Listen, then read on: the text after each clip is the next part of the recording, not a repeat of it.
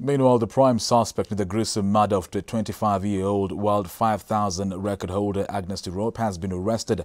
Ibrahim Rotich, who was in a relationship with the athlete, was arrested in Changamwe, Mombasa County as he tried to flee to a neighboring country to evade justice.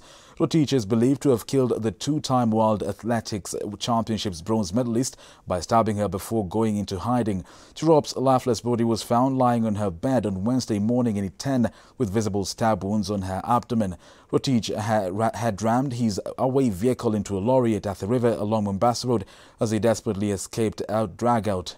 The suspect is currently being grilled by detectives at Changamwe Police Station for more details into the murder before being arraigned to answer to murder charges.